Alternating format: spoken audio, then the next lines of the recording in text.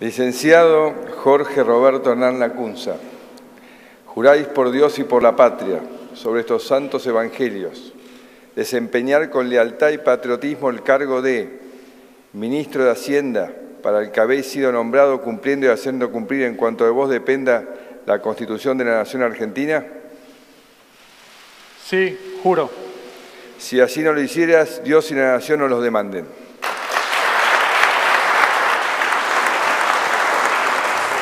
En primer lugar, quiero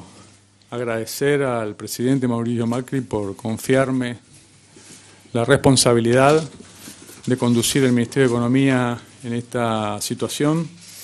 eh, que es compleja, pero creo que tenemos sobrados argumentos para poder salir adelante y lo más importante, para garantizar la tranquilidad de los argentinos en este proceso electoral y legar al próximo mandato, sea quien sea que elijan las urnas, pero lo importante es que el punto de partida del próximo mandatario eh, tenga una plataforma, disponga de una plataforma eh, consistente y robusta para poder recuperar el crecimiento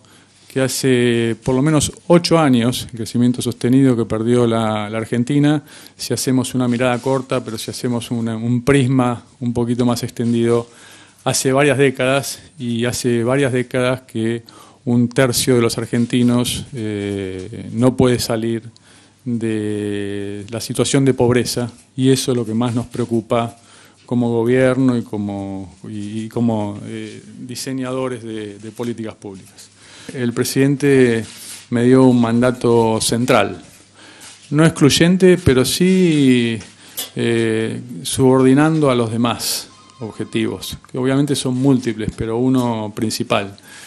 que es garantizar la estabilidad del tipo de cambio como objetivo de primer orden en, esta, en este periodo electoral.